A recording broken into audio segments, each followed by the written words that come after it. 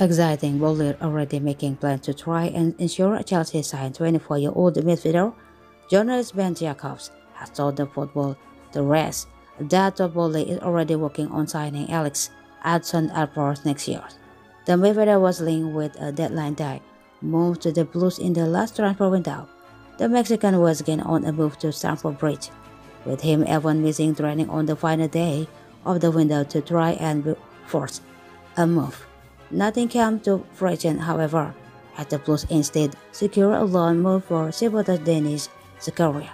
The Swiss international is yet to feature for Chelsea this season, despite making the bench of the number of occasions his match fitness has been called into question.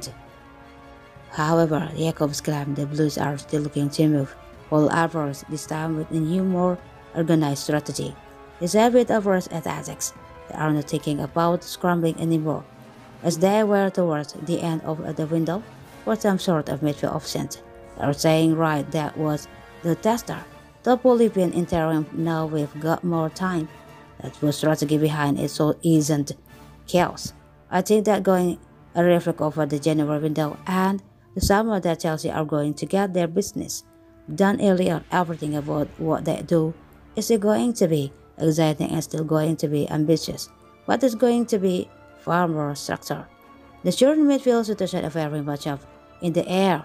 N'Golo Kante is currently looking likely to sign a new deal to stay. They are also concerned over whether Jorginho will extend his current contract with the club. Although the impact of a new man is just may change both of their secondaries with the defensive qualities of his overs. He could be a great option to shoot things up in the middle of the park. Jack is a football journalist who graduated from the University of Derby. He has freelanced for The Athletic and Sun. Jack has reportedly from Premier League and St. Vincent. Ground was also being published in the non-league paper.